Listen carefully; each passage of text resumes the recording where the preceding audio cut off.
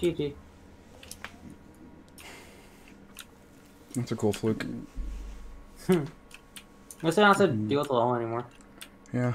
That's the best thing, like, that's, that's the best thing about, like, levels like this. Is that, like, after you beat them, you never have to play them ever again. Yep.